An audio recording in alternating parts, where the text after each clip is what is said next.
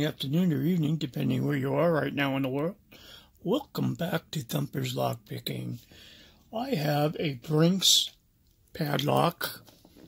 As you see, um, it's very, it's a really nice lock, nice and shiny. I like shiny locks. I have to polish that up a little bit, but as you can see, it is a Brinks. Um, I'm going to see what it takes to get into this. I don't need to cover. Um, let me put it in here.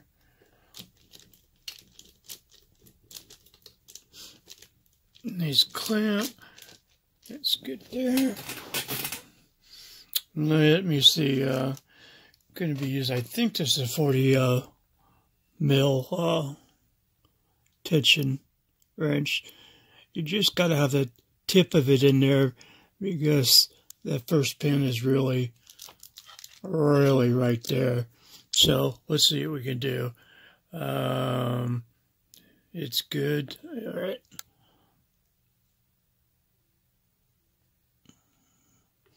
We'll click at a one.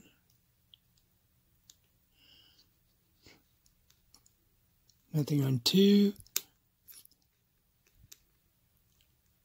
Three. Okay, that's four. Just five on. Oh, I didn't show the key.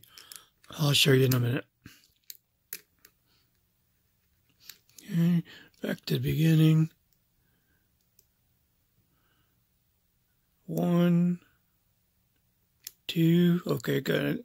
Got a little movement there. That was a nice one. Three.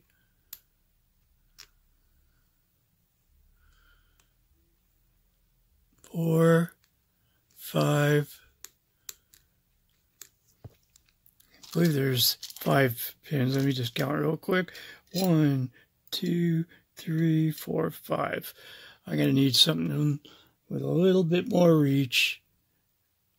I'm losing my tension wrench. All right.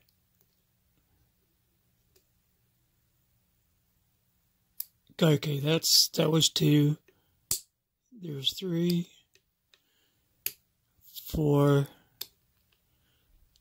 nothing on five, click at a six.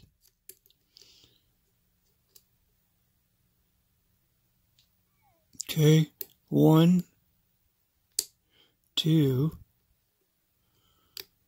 that was three, four,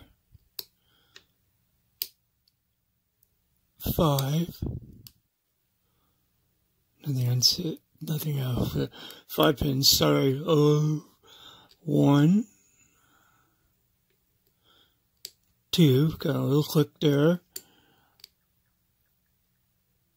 Three. Gotcha, baby.